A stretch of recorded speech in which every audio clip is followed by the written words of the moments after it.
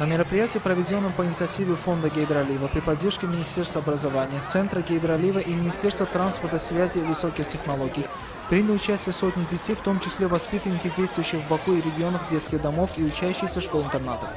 В рамках фестиваля, проведенного по случаю Международного дня защиты детей, им были представлены различные развлекательные программы. Парк центра Гейдролива напоминал чудесный мир сказок. Территория парка разделена по различным темам и видам развлечений. Здесь созданы ледовые, танцевальные и спортивные площадки, площадка искусств. На территории для уличного искусства стрит-арт дети рисовали на асфальте, а на площадке арт на мольбертах. На озере в парке центра впервые были проведены соревнования на лодках. В парке также были организованы ралли на небольших автомобилях, создан ралли-дром. Дети обнаружили под песком макеты различных археологических находок, а в зоне сафари-тур и мини-фермы совершили путешествие в мир животных.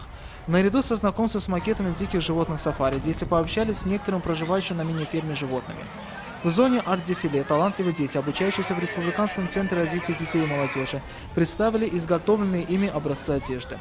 В зоне лабиринта ребята занимались спортивным ориентированием, весело и интересно провели время.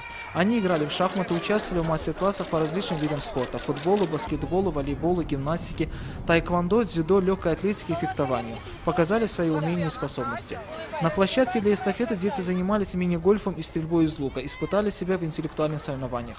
В рамках фестиваля Автомобильная Федерация Азербайджана организовала для детей занятия по правилам дорожного движения.